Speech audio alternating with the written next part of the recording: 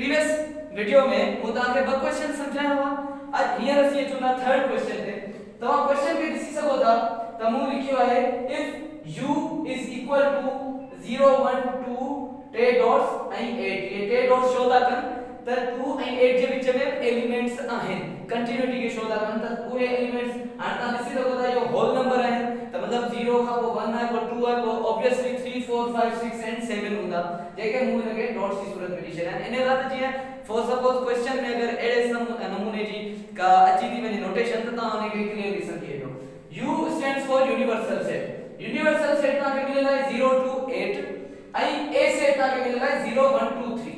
ठीक आहे बस सेट्स तव्हांखे मिलियल आहिनि हालाँकि क्वेश्चन में तव्हांखे ॿिया सेट्स मिलियल आहिनि B बि मिलियल आहे C बि मिलियल आहे पर आउं डेमोन्स्ट्रेट थो कयां हिकिड़ो ई सेट खणी त हिते हाणे असीं छा कयूं A ऐं A जे मथां ही बार आहे हिन बार खे पढ़बो आहे A कॉम्प्लीमेंट कॉम्प्लीमेंट जो मतलब छा हूंदो आहे हुते लिखियो आहे A complement is equal to universal set difference A difference जो जेको असीं प्रोसेस कंदा आहियूं डिफरेंस जो जेको ॿिनि सेट्स जे विच में प्रोसेस थींदो आहे उन में एक्चुअली छा कयो वेंदो आहे त ॿिन्ही सेट्स जे एलिमेंट्स माँ जेके कॉमन एलिमेंट्स आहिनि उहे कटिजी वेंदा इंटरसेक्शन में असीं छा था कयूं कॉमन एलिमेंट्स लिखूं था।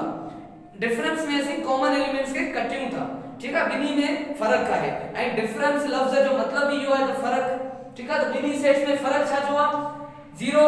1 2 3 यूनिवर्सल सेट में मौजूद है एलिमेंट्स 0 खां 8 ताईं ऐं ए सेट के एलिमेंट्स आहिनि 0 1 2 3 तव्हां क्लियरली दिस इज़ था त 0 यूनिवर्सल सेट में मौजूद आहे ए सेट में मौजूद आहे त ये कैंसिल विया 1 2 3 हेॾा मौजूद आहिनि 1 2 3 हेॾा मौजूद आहिनि त ये चार एलिमेंट्स खत्म थी विया बाक़ी तव्हांजा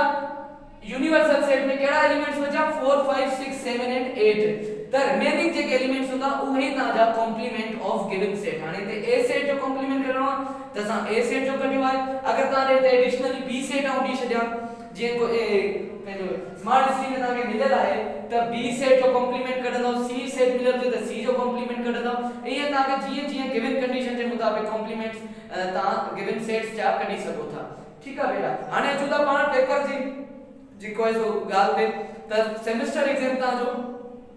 एमसीक्यूज बेस्ड ही तो ऑब्जेक्ट टाइप क्वेश्चंस इंदा तो ओनेला तैयारी ता किथा जनो ता तैयारी ला स्मार्ट स्कीम के एक्सेस कदा बुक के एक्सेस कदा जेके चैप्टर्स आई उनन के उन जी थ्योरी को पढ़ दो आई उन जे प्रॉब्लम्स के बता सॉल्व करने की कोशिश करो आई थर्ड मंथ बेसिस में तो हुई ऐसा रेगुलर क्लासेस में पढ़ी चुका है तो ता उनन के एक्सेस करे आई जेको कोई सो पेपर की तैयारी करो टेक केयर अल्लाह हाफिज़